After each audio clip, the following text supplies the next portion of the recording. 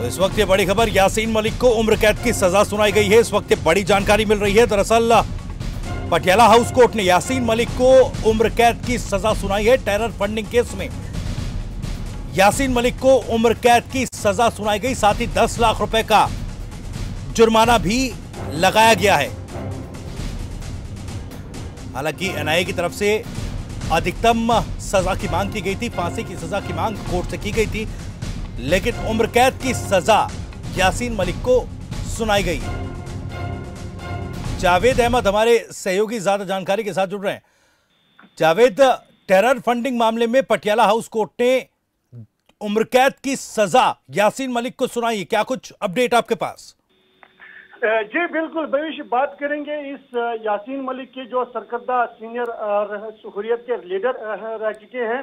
जिसके बाद terror funding मामले में इसको एनआईए ने हिरासत में लिया था और अभी फ़िलहाल ये हिरासत में ही थी। तो पिछले कई दिनों से लगातार जो फैसला आना बाकी था, उस पर जो है कश्मीर के आम जनता में सिर्फ़ ये और पूरे मुल्क के साथ साथ आम जनता में ये दिखाई दे रहा था कि कब वो फैसला सामने आएगा। तो फ़िलहाल वो फैसला सामने आ ही गया और आज जो है कड़ी नज़रें थी इस एनआईए की।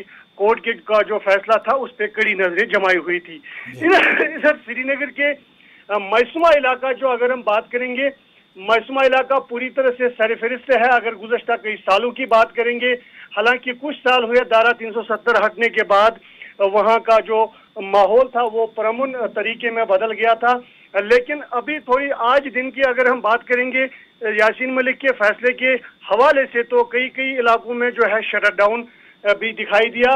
और यासीन मलिक के घर पे महिलाओं की खासी तादाद वहाँ पे भीड़ जमा हो गई थी।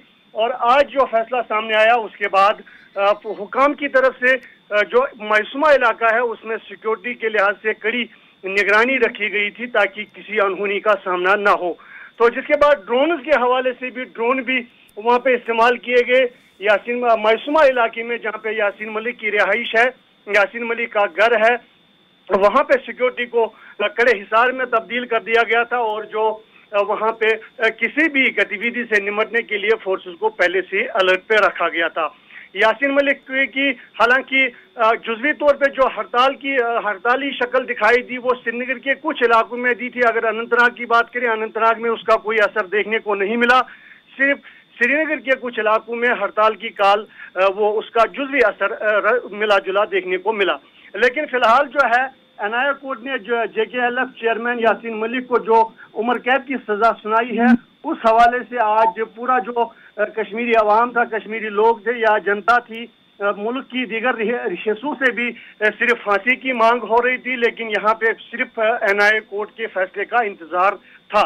जो कोर्ट ने उसे जो मुख्तलिफ़ धाराएँ लगाई गई है, उसके टेरर फंडिंग मामले में, उसमें ये सरफहरिस्त है, एक सौ बीस B IPC 121, IPC 121A, IPC uh, 13 UAPA R uh, slash W 120B, IPC uh, 15 UAPA RW 120B, IPC 17 UAPA 18 UAPA 20 UAPA अड़तीस यूएपीए और थर्टी नाइन 39 यूएपीए ये मुख्तलिफ़ धाराओं के हवाले से यासीन मलिक पे जो है वो धाराएँ लगाई गई है। टेरर फंडिंग मामले में हालाँकि वहाँ पे जो श्रीनगर में इस हवाले से सिक्योरिटी के इंतज़ाम पहले से ही किए जा चुके हैं और अगर हुकाम के मुताबिक अगर इंटरनेट सर्विस को भी सुनने में, हालाँकि सरकारी तौर पर ये पुष्टि नहीं हुई है कि इंटरनेट की सुविधा जो है वो बंद की गई है, नहीं की गई है। हालाँकि जो मकामी लोगों की तरफ़ से कई कई शिकायतें मौसू हो रही है कि इंटरनेट की सुविधा जो है कुछ प्राइवेट कंपनियों में वो उसकी रफ्तार धीमी कर दी गई है।